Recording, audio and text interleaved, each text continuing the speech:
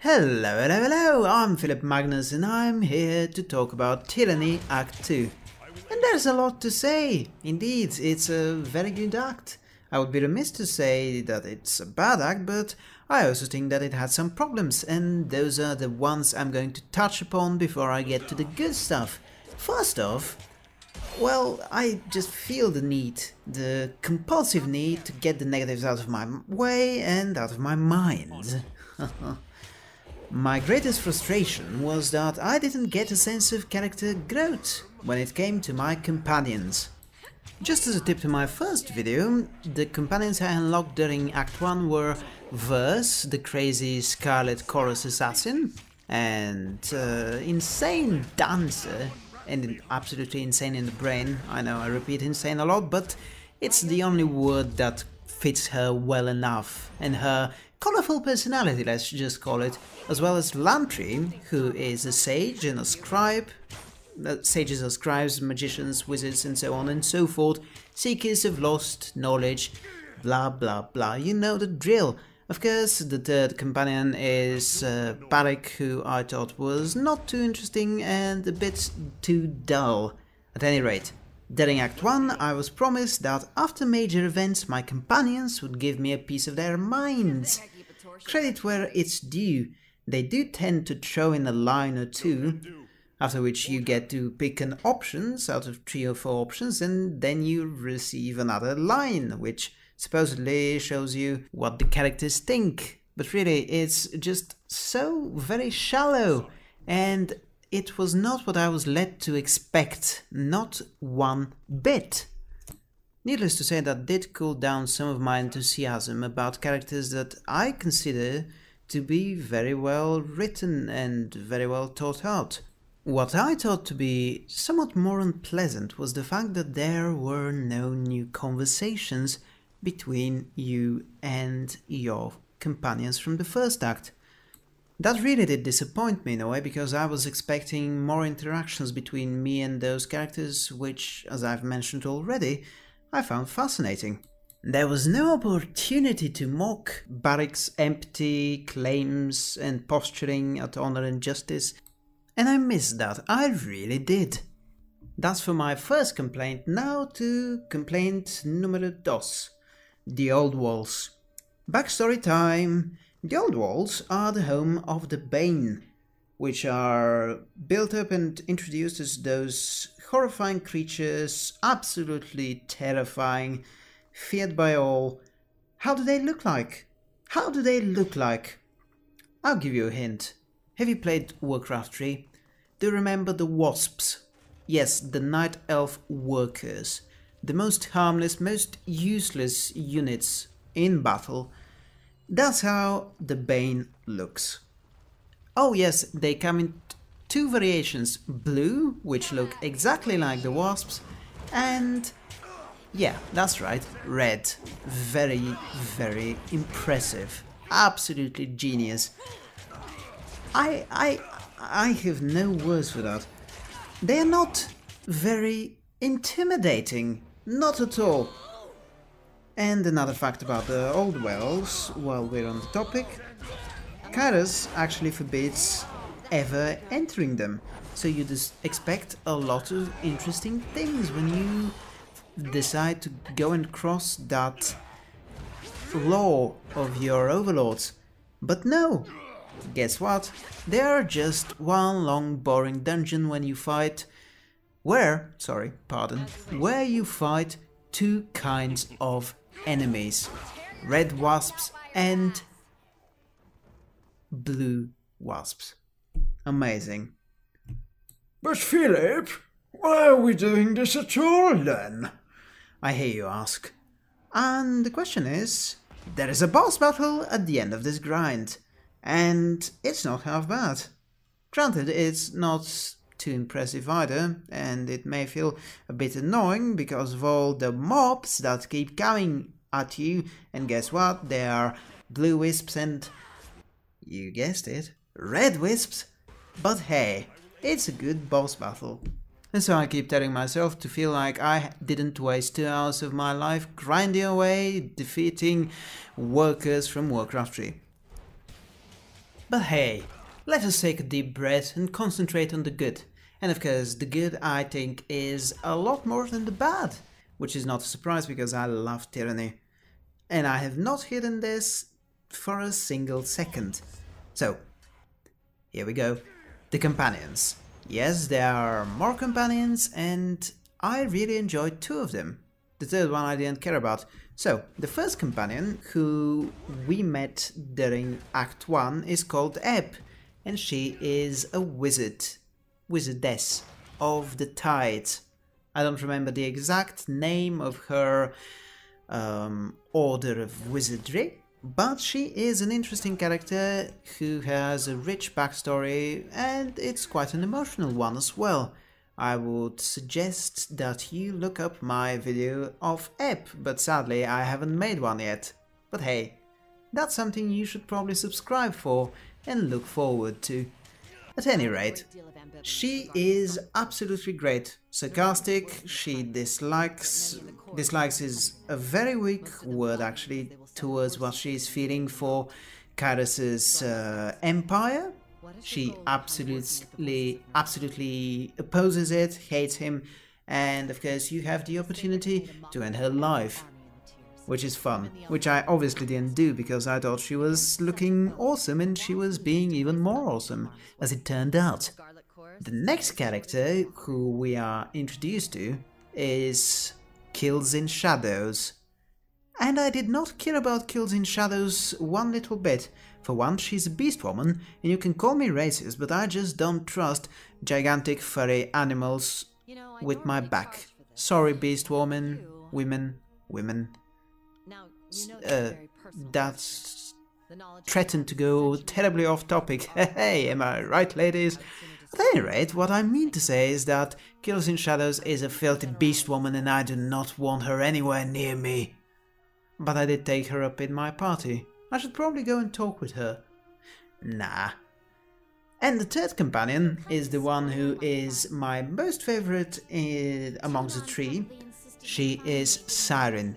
Yes, that's right, one of the Archons decides that she wants to become my companion. She is very interesting. Her backstory absolutely abysmal, quite sad to learn. You can actually force Sirin to talk with you about her backstory, which will gain you either fear or loyalty, or in my case, both. She is an absolutely fascinating character who has been through a lot. She is, I think, either 13 or 16 years old. Maybe she was 13 by the beginning of the game. I mean, during the conquest, and then at the current events of the game, she is 16. That's what I think. In case you don't know what she does and her name is not enough of a tip, Sirin has the powers to control and persuade people to do her will with her voice, with her songs, which to me has always been one of those most awesome, most interesting of powers, of magics, of generally awesome things a person in fiction can do. And if you don't agree with me, just go and watch Jessica Jones, and you will fall in love with David Tennant's portrayal of Kilgrave, who, spoilers, controls people with his voice. It's an absolutely awesome show, but I am getting distracted. Back to the good stuff. So, Act 2 is basically where you grow in power. And it's very, very exciting. For me at least, because I love power and I love growing in power. um, that sounded weird. I don't think that joke worked out. But I'm not going to delete it because I like transparency. At any rate, you can unlock not one, not two, not three, but four additional spires as optional quests during your basically travels. How do you do that? By finding pieces of parchment, which are scattered among different levels in the game, and solving a puzzle, which is not actually that good and fun, come to think of it. I did not enjoy those. Actually, I have not done all of them, come to think of it. Maybe I should go and do that. Perhaps I will find enjoyment within myself. On a serious note, they are not difficult, they're just somewhat tiresome. And if you are, on occasion, as lazy as I am, you can always look for the solutions ready to go on YouTube. It will take you about 35 seconds, at the most. At any rate, having most powers under your control is good because that way your powers are increased. And who doesn't love power? No, seriously, who? Returning to a more serious tone, I would say that Act 2 of Tyranny had a lot of interesting interactions between characters which I'm not going to discuss for the sake of being relatively spoiler free. We don't want to give it all away, do we? Hmm, hmm, hmm. What further words of wisdom do I have for Tyranny's second act? If I had to say anything, it would be that Obsidian's artists made some really nice looking environments within Tyranny, and those are a joy to look at and a joy to kill disfavor on.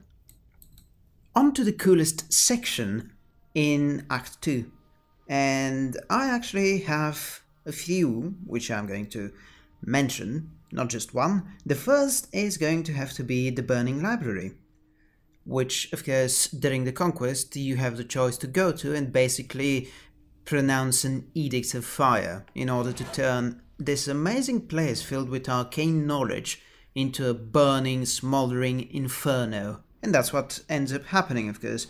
At any rate, once you return to the Burning Library, you do so looking for the most ancient, most secret of the knowledge inside the library.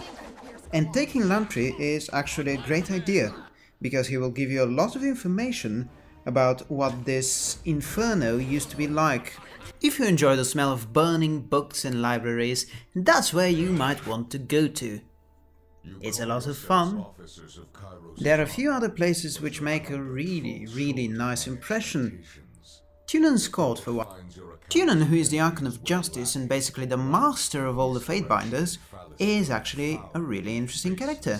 If you look at Lawful Evil in the Nerd Dictionary, you'll probably see a picture of this masked creature staring right back at you with his judgy little eyes.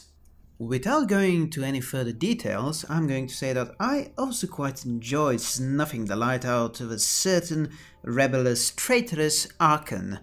That was quite a lot of fun, if I do say so myself. I would be doing you a disservice if I didn't mention that the act has one of the coolest, most empowering endings a second act of a game has ever had, at least in my eyes. With this in mind, I do believe it's time to wrap this video up and move on to Act 3.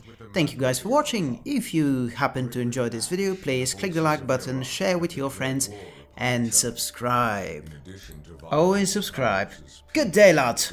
thrown the conquest of the Tiers into disarray. By all accounts, these hostilities began shortly after your arrival. Tell us what transpired.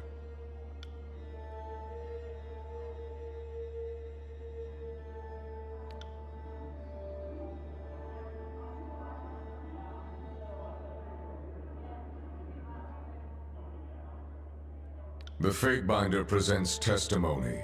I warn you both against speaking out of turn. Something more than a mere disagreement unraveled this campaign. But I will return to that in time. Let us speak of Ascension Hall. From all accounts, it would seem you were instrumental in its capture, or so the petitioner of the Scarlet Chorus testifies.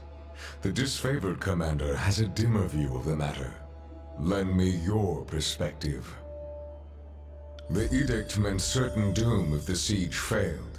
So why, when your survival depended on it, did you join your strength to the Scarlet Chorus and not the elite disfavored?